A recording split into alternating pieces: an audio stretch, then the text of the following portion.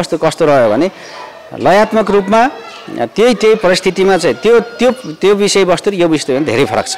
यो चाहिँ तपाईँको एउटा स्रष्टा जुन चाहिँ आफ्नो भाव व्यक्त गर्दाखेरि लयात्मक रूपमै आँसुका धारासँगै चाहिँ जुन खालको प्रस्तुत छ यसलाई चाहिँ कथावस्तुमा स्वाभाविक रूपले चाहिँ सुहाएको अवस्थामा देखिन्छ। र त्यसलाई चाहिँ यसलाई चाहिँ यो प्रयोग चाहिँ प्रयोगै को आधार बनाएर त्यसको चाहिँ जामा लगाएर जुन जुन गीतहरू छन् तिनै गीत हिट पनि छन्। त्यो खालको प्रयोग पनि भइरहेको छ। र फेरि एक खण्ड चाहिँ गीत सङ्गीतमा लागेका प्रयोगका हिसाबमा पनि मैले एक दुई ठाउँमा भन्ने गरेको थिएँ। बिचमा एउटा चाहिँ एकजना हाम्रो अब राज्यले नीति निर्माण गरेर अलिकति स्ट्रिक्टली त्यसलाई कार्यान्वयन नल्याउँदासम्म चाहिँ गाह्रो रहेछ। होइन हामी आफ्नो तहबाट हाम्रो सङ्घ संस्थाको तर्फबाट चाहिँ सक्दो प्रयास गरिराखेका छौँ निरन्तर गरे हो परिवर्तन मान्छेले चाहिँ नयाँ टेस्ट खोजिराखेका छ होइन। अब नयाँ नयाँ कलाकार साथीहरूको नयाँ नयाँ सिर्जनाहरूलाई चाहिँ मान्छेले स्वाभाविक रूपले पनि खोज्छ। यो यसमा मात्रै होइन हरेक प्रविधिका कुराहरूमा हरेक चिजमा चाहिँ नयाँ नयाँ विकास स्वागत छ धन्यवाद। भर्खरै नयाँ गीत बजारमा आएको छ। के छ? प्रतिक्रिया कस्तो आएर यो प्रश्न हुन त बारम्बार सबैले सोधिराखेको मैले फेरि यो चाहिँ अलिकति मेरो व्यक्तिगत रूपमा चाहिँ अहिले धेरै समयपछि आएको र यसलाई जतिले सुन्नु भएको छ अत्यन्त राम्रो प्रतिक्रिया एउटा चाहिँ नयाँ अलिकति पृथक शैलीमा र पृथक विषयवस्तुमा आएको छ। अलिकति राष्ट्रिय भावनाको चाहिँ गीत छ चेतनामूलक गीत छ भनेर धेरैबाट चाहिँ राम्रो सुझाव आएको छ। हजुर। पछिल्लो समय अलि गीत सङ्गीतको ट्रेन्ड चेन्ज भएको छ। पहिलेकै धारमा फेरि परिवर्तन खोजेका छन् दर्शक श्रोताले पहिलेकै धारका गीत सङ्गीत सुन्नका लागि। र तपाईँले कतिको त्यो अनुभव गर्नु भएको छ लोकगीत सङ्गीत फेरि पुरानै धारमा परिवर्तन हुन थालेको हो? हो एउटा भन्छ भनाइ छ नि वनमा जति चढ्न गए पनि आखिरी साँझ गोठ नै प्यारो हुन्छ भने जस्तै। अथवा चाहिँ हामीले विभिन्न खाना जति चाहिँ बजारका खाना खाए पनि गाउँ घरकै आखिरी चाहिँ तपाईँको अलिकति मस्यौडा अलिकति गुन्द्रुक अति अलिकति आलुको तरकारी पकायो भने घरको चाहिँ एउटै तरकारी भए पनि मिठो हुन्छ नि। त्यस्तै अहिले मान्छे ठ्याक्कै तपाईँले भने जस्तै जता जता चढे पनि हाम्रो मौलिकता नेपालीपन जुन छ नि त्यसमा फर्किन लागेको चाहिँ महसुस भइरहेको छ। पहिलाका निरन्तरता पहिलेका धेरै कलाकारहरू ओजेलमा पर्नुभयो। जस्तै तपाईँकै समकालीन साथीहरूको कुरा गरौँ। जस्तो कहिलेकाहीँ फाटाफुट्टा आउनुहुन्छ। अ, तपाईँसँगकै पुरुषोत्तम नेउपाने दाई होइन? लगायतका धेरै कलाकारहरू हुनुहुन्छ। फाटाफुट्टा मात्रै देखिन थाल्नुभयो। कारण कि नयाँलाई स्थान दिन खोज्नुभयो या गीत सङ्गीतको त्यो प्रगति र भविष्य नदेखेर आउट हुनुभयो? एउटा त स्वाभाविकै हो परिवर्तन मान्छेले चाहिँ नयाँ टेस्ट खोजिराखेको छ होइन? अब नयाँ नयाँ कलाकार साथीहरूको नयाँ नयाँ सिर्जनाहरूलाई चाहिँ मान्छेले स्वाभाविक रूपले पनि खोज्छ। यो यसमा मात्रै होइन हरेक प्रविधिका कुराहरूमा हरेक चिजमा चाहिँ नयाँ नयाँ विकास भइरहेका छन्।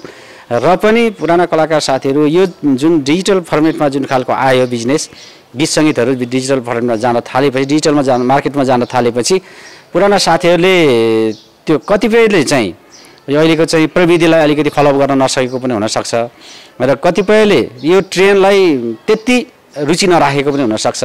त्यसले गर्दाखेरि पुराना ट्रेनका साथीहरू पुराना चाहिँ कलाकार साथीहरू अब अहिले जुन पुरानो चाहिँ फिजिकल मार्केटमा अगाडि बढिरहेका साथीहरूलाई अहिले चाहिँ डिजिटल मार्केटमा आउनलाई अलिकति अपडेट हुन गाह्रो पनि होला। र अहिले पछिल्लो ट्रेनका गीतहरू ले जुन खालको बजार लिए जस्तो भएको छ त्यस त्यो त्यसमा चाहिँ जान नचाहेको पनि हुनसक्छ। त्यसले गर्दाखेरि छायामा परे जस्तो आफ्ना सिर्जना आफ्नो ठाउँमा त छन् तर चाहिँ छायामा परे जस्तो चाहिँ देखिया छ। एक समय विकृति आयो गीत सङ्गीतमा भनेर तपाईँहरू पनि उफ्रिनु भयो तपाईँहरू मात्र होइन सिङ्गो कलाकार सबै उफ्रिनु भयो होइन। र त्यसपछि ठ्याक्कै त्यो ट्रेन्डै चेन्ज भइदियो। र प्रतिष्ठानले पनि विभिन्न कार्यक्रमहरू गरेर यस्ता कार्यक्रममा यस्ता कलाकारहरू आयो भने बाहिर आउनु यानि कि भित्र त्यो कार्यक्रममा यस्ता यस्ता प्रस्तुतिहरू नदिनु भन्ने खालका गतिविधिहरू आए। त्यसले न्याय पायो? तपाईँहरूको अभियानले न्याय पायो? यसलाई कस्तो भएको छ? म राष्ट्रिय उद्योग प्रतिष्ठानको अध्यक्ष म हुँ मै हुँदाखेरि हामीले राज्यसँग एउटा चाहिँ माग राखेका थियौँ। कम्तीमा जसरी चलचित्र विकास बोर्ड बनेको छ एउटा सेन्सरको चाहिँ सिस्टम बसेको छ त्यस्तै गरी कलाकारहरूको पनि लोकसङ्गीतको विशेष गरी अरू अरू सङ्गीत अलिकति स्वतन्त्र होला तर लोकसङ्गीतको क्षेत्रमा केही मर्यादा हुनुपर्छ केही हाम्रो चाहिँ आफ्नो पन चाहिँ हराउनु हुँदैन भन्ने हिसाबले हामीले त आन्दोलनै गऱ्यौँ। एक महिना जति लगभग कलाकार उम्, को एउटा विकास बोर्ड बन्नुपर्छ गीतहरू सेन्सर भएर मात्रै बजारमा जानुपर्छ लोकसङ्गीतहरू लोकगीतहरू चाहिँ त्यो विकृत अवस्थामा जान हुन्न भन्ने खालको। अब यसो छ यसलाई राज्य नै आफू अलिकति सक्रिय भएर राज्यले चाहिँ मुलुकको सांस्कृतिक नीति कसरी बनाउने हाम्रा साङ साङ्गीतिक प्रस्तुतिहरू साथीहरू क- कुन हदसम्म रहने भन्ने कुराहरू चाहिँ राज्यले निर्क्युल नगर्दासम्म राज्यले नीति निर्माण गरेर अलिकति स्ट्रिक्टली त्यसलाई कार्यान्वयन नल्याउँदासम्म चाहिँ गाह्रो रहेछ। होइन हामी आफ्नो तहबाट हाम्रो सङ्घ संस्थाको तर्फबाट चाहिँ सक्दो प्रयास गरिराखेका छौँ निरन्तर गरेका छौँ र अलिकति हुन त विकृति केलाई भन्ने संस्कृति केलाई भन्ने आखिर फेरि संस्कृति भन्नेको परिवर्तनशील चिजै हो होइन? एकै चिज एकै ठाउँमा रहेर विकास पनि हुँदैन। तर पनि मैले मेरो चाहिँ व्यक्तिगत एनालाइसिस चाहिँ के छ भने हिँड्न चाहिँ पर्छ लम्किनसम्म पनि पर्छ।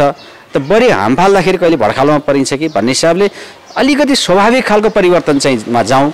अनि अस्वाभाविक खालको मैले अस्ति एउटा एक ठाउँमा बोल्ने क्रममा पनि भनेको थिएँ तपाईँको परिवर्तनका नाममा हामीले यो कुरा गरिराख्दाखेरि मान्छे चन्द्रमामा टेकिसके। अब अझै चाहिँ तपाईँको चाहिँ के अरे छोटा लुगा लगायो भनेर विरोध गर्ने भन्ने खालका चाहिँ टिक टिका टिप्पणीहरू पनि आए। मैले चाहिँ के त्यसको चाहिँ के भनेको थिएँ भने त्यो लुगाले मात्रै चन्द्रमा छोडेर भएर होइन? कम्ती आफ्नो चाहिँ दिमागले आफ्नो चाहिँ टेक्नोलोजीले आफ्नो चाहिँ सिर्जनाले पनि चाहिँ चन्द्रमा छुनु पऱ्यो नि। त्यसले गर्दाखेरि यस्ता खालका अरूलाई चाहिँ होच्याउने खालका चाहिँ प्रतिक्रिया भन्दा पनि हामी बढी चाहिँ फड्को मार्न खोज्दाखेरि बढी हाम फाल्न खोज्दाखेरि दुर्घटना हुनसक्छ कम्तीमा त्यो दुर्घटनाबाट जोगिनलाई स्वाभाविक रूपको परिवर्तन त्यसलाई चाहिँ सबैले स्वीकार्नै पर्छ। तर चाहिँ अस्वाभाविक खालको हाम्रो चाहिँ मौलिकता नै हराउने खालको चाहिँ नगरौँ भन्ने खालको अनुरोध हो। तपाईँ पछिल्लो समय लोकगीत खोज्नका लागि विभिन्न ठाउँमा जानुभयो। यसको विश्लेषण र अझ भन्नुपर्दाखेरि यसको फराकिलो के छ लोकगीत सङ्गीतको अध्ययनको लागि पनि दौडिनु भयो देश दौरानमै रहनुभयो। लगभग तिन चार वर्षै तपाईँ यसको लागि लागिरहनु भएको छ। अझै पनि यसको निरन्तरता छ।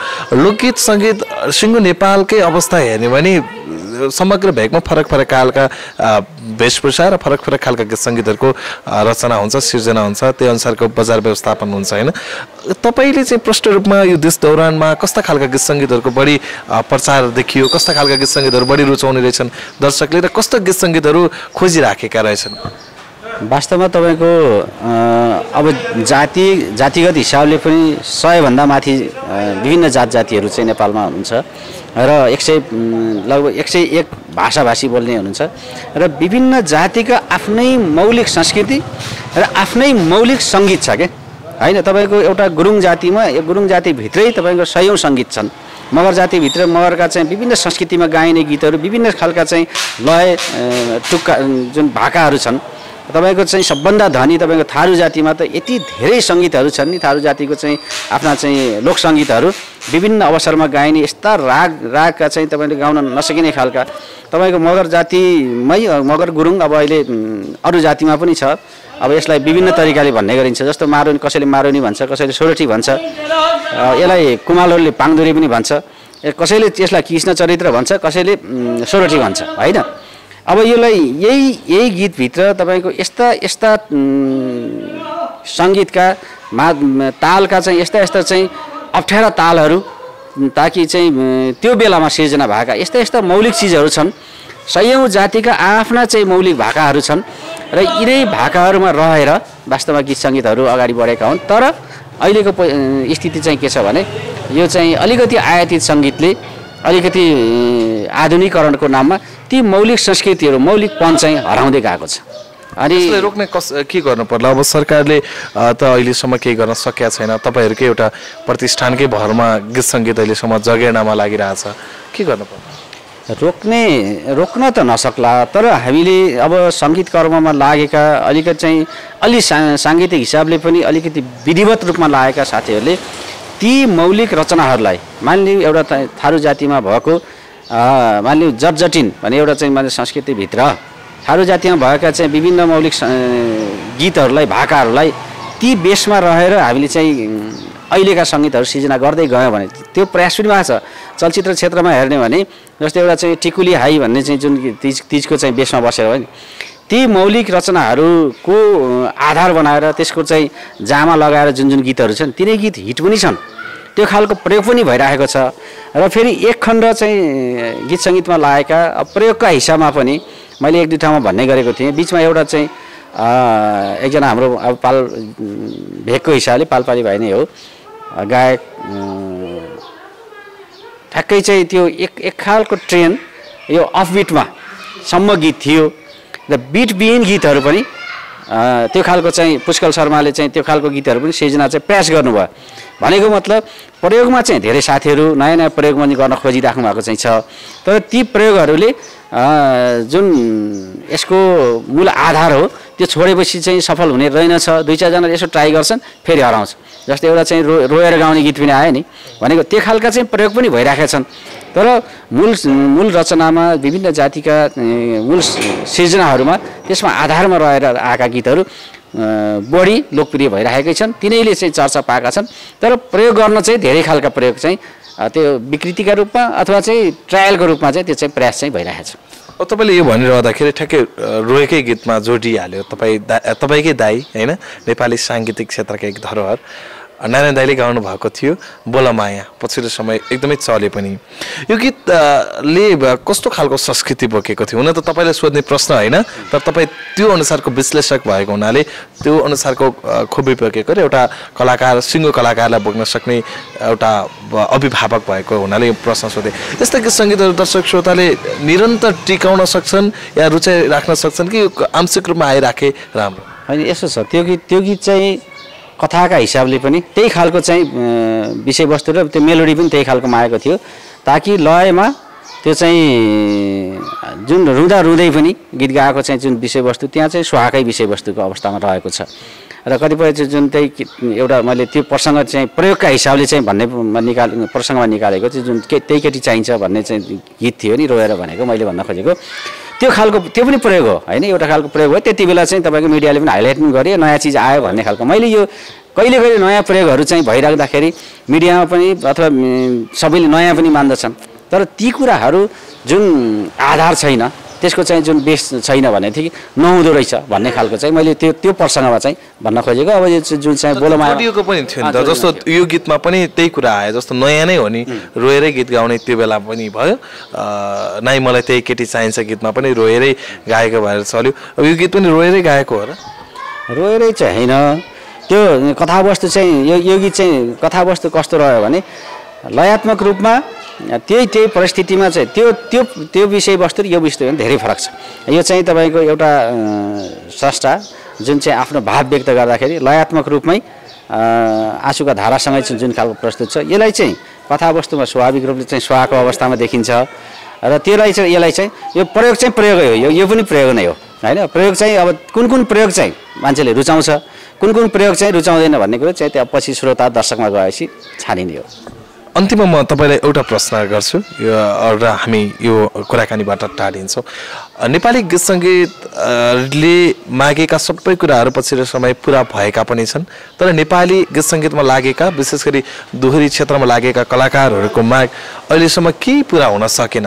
चाहे रोयल्टीका कुरा होस् या चाहे अन्य विविध कलाकार बाँच्ने आधार होस् या हुन त तपाईँले कलाकार मरे या कुनै अप्ठ्यारामा परे भने पनि त्यो एउटा कलाकार कल्याणकारी कोष खोल्नु भएको छ। त्यो पनि संस्थागत रूपमै तपाईँहरू आफ्नै लगानीमा आफ्नै तरिकाले उठाएको सहयोग रकमबाट भएको छ। तर मेरो प्रश्न के भने पछिल्लो समय कलाकार बाँच्ने आधार दोहोरीमा पटक्कै छैन। बरु अन्य क्षेत्रबाट कुनै कुनै आधार छ क्यासेट सिडी बेचेर भए पनि बचाइराख्नु भएको छ। एल्बमहरू बेचेर भए पनि। दोहोरी गीत सङ्गीतलाई बचाउने आधार के भेट्नु भएको छ? यतिका वर्ष तपाईँ लागिराख्नु भएको हुनाले थोरै यसलाई चाहिँ टिप्पणी। यसो छ। पहिलाभन्दा त लोकसङ्गीतमा लागेका साथीहरू पनि धेरै एउटा आधार बनेको छ। चाहे दोहोरी साँझमा होस् चाहे तपाईँको चाहिँ यो मेला महोत्सवमा होस् अब पहिला पहिला चाहिँ लोकदोहोरी क्षेत्रका कलाकारहरू स्टेजमा चढ्न बडा मुस्किल थियो। विभिन्न चाहिँ कार्यक्रमहरूमा स्टेज पाउने भनेको बडा मुस्किलको कुरा थियो। अहिले चाहे चाहिँ चाहिँ युरोप अमेरिका चाहिँ ती के अरे जापानका कुरा हुन् विदेशमा चाहिँ जति पनि नेपाली दाजुभाइहरू बस्नुहुन्छ उहाँहरूले को छनौटमा पनि लोकदोहोरीका कलाकारहरू धेरै पर्नुहुन्छ। र यहाँ नेपालकै मेला महोत्सवमा पनि अहिले लोकदोहोरीका कलाकारहरू अत्यन्त धेरै पर्नुहुन्छ। र दोहोरी साँझमा अहिले हजारौँ कलाकार साथीहरू चाहे वाद्यवादक रूपमा होस् चाहे चाहिँ गायक गायिकाको रूपमा होस् त्यहाँ पनि अहिले चाहिँ रोजगार। पहिलाको तुलनामा यो विगत दस पन्ध्र वर्ष अगाडि भन्दा चाहिँ लोक लोकसङ्गीतमा लागेका साथीहरू पनि धेरै यसको चाहिँ अलिकति बाँच्ने आधार बनेको छ। तर त्यो हरेक ठाउँमा के रहेछ भने चाहे सञ्चार क्षेत्रमा तपाईँ एउटा मिडिया क्षे- क्षेत्रमा लाग्नुहोस्। कमल सरगम अलिकति अगाडि आउनु भएको छ तपाईँ अलिकति सक्षम हुनुहुन्छ। कतिपय साथीहरू पत्रकार साथीहरू मिडियामा लागेका साथीहरू सडक छापै पनि हुनुहुन्छ। होइन? यो स तितो सत्य हो कि? कलाकार क्षेत्रमा पनि पन्ध्र बिस बिस पर्सेन्ट चाहिँ एउटा सर्भाइभ हुनुहुन्छ भनेदेखि बाँकी असी प्रतिशत चाहिँ मुस्किल छ। चाहे हरेक पेसामा त्यो खालको चाहिँ छ तर कला क्षेत्र गीत गीत सङ्गीतको क्षेत्रमा तपाईँले भने जस्तै रोयल्टी क्षेत्र चाहिँ अहिलेसम्म राज्यले अझै पनि केही न चासो अहिले पछिल्लो चरणमा कलाकारको र यो सिएमओको तिनवटा सिएमओले जुन खालको अलिकति एग्रेसिभली लगाइराखेको हुनाले केही होला कि होला कि होला कि जस्तो हुन्छ। तर फेरि अलिकति अगाडि पुग्न थालेपछि तपाईँको आखिरी सित्याइमा पाइराखेको चिज कसैले चाहिँ भनौँ न पैसा तिर्न पर्दा दुःख त लागेको छ त्यसले गर्दा रोयल्टी व्यवस्थापन अझै हुन सकिरहेको छैन। तर त्यो तिर रोयल्टी व्यवस्थापन हुने मार्गमा चाहिँ अगाडि चाहिँ बढेको छ। हुन्छ दाइ यो महत्त्वपूर्ण समय र साथका लागि धन्यवाद छ र यो एल्बम अझ सफल होस् फर्का दाइ फर्क। सायद दर्शकहरूले अत्यन्तै रुचाउनुहुन्छ अहिले पनि रुचाउनु भएको छ। यो गीतलाई पूर्ण सफलताको धेरै धेरै धन्यवाद। यो चाहिँ ठ्याक्क चाहिँ फर्क उम्, गीत अगाडि आइराखेको बेलामा बजारमा आइराखेको बेलामा। यो अवसर र गीत सङ्गीतका विषयमा चाहिँ अलिकति चर्चा गर्न पाइयो। यसको लागि धेरै धेरै धन्यवाद। म आभारी छु।